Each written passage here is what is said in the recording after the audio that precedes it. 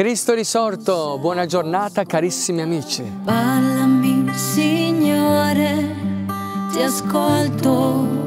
Proclamiamo dall'inizio di questo giorno che Gesù è il Signore, è la nostra forza e la sua parola anche oggi ci incoraggia ad andare avanti. Leggiamo insieme il Vangelo secondo Luca, capitolo 21, versetti 29 e 33.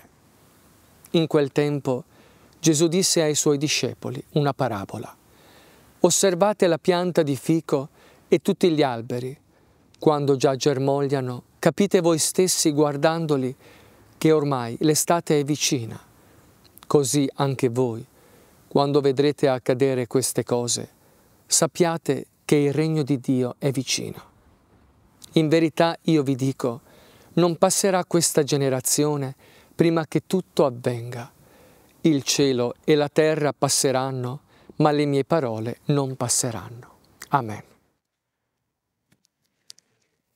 Carissimi, sempre siamo in questo capitolo 21 del Vangelo secondo Luca, sempre in questo discorso escatologico riguardante quindi la fine dei tempi e anche i segni dei tempi che da duemila anni ci accompagnano, da quando Cristo è risorto.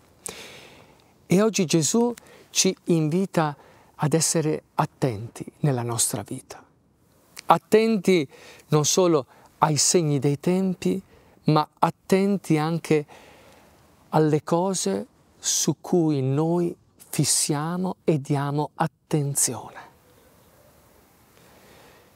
Quanto è importante vivere con un atteggiamento di fiducia quanto è importante che i nostri occhi, dice San Paolo, si fissino non sulle cose che passano, ma sulle cose che sono eterne, incorruttibili.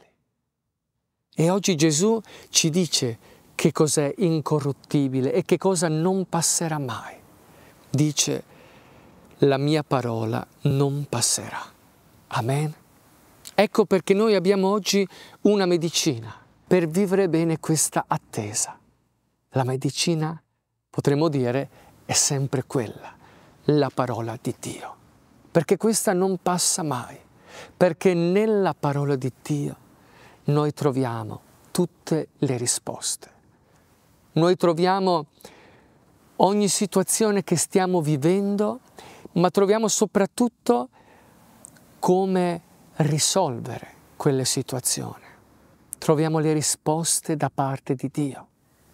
Perché è Gesù stesso che sa che il Padre tutto ciò che ha promesso lo manterrà.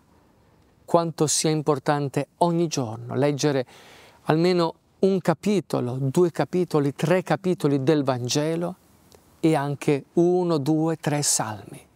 Leggerli, proclamarli a voce alta e fare in modo che ciò che noi leggiamo diventi realtà, perché come è scritto in Giovanni 1, il Verbo si è fatto carne. E poiché la parola di Dio è viva e non passa mai, quando io la pronuncio, la leggo a voce alta e la proclamo nella mia vita, si fa carne.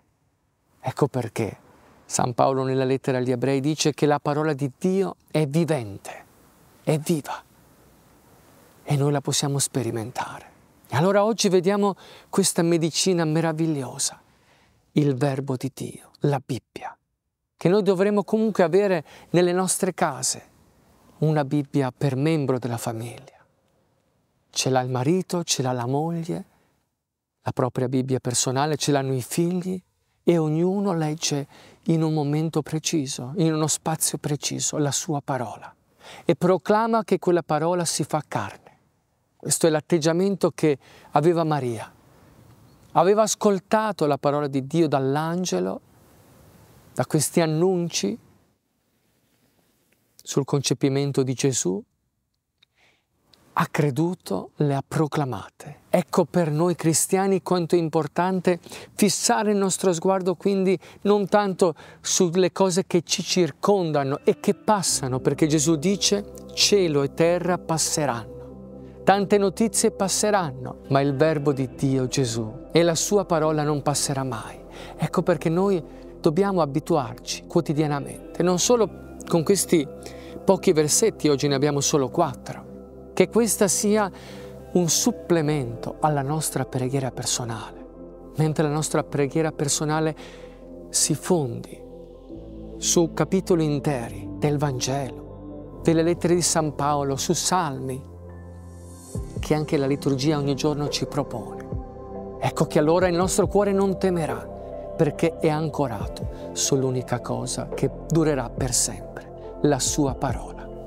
Ecco allora vi lancio oggi questo slogan, tutto passerà, ma la sua parola non passerà. Ripetilo più volte oggi. Quando qualcosa di male ti accade, quando sei preoccupato, hai delle difficoltà, dillo, queste cose passeranno, ma la parola di Dio non passerà. Amen?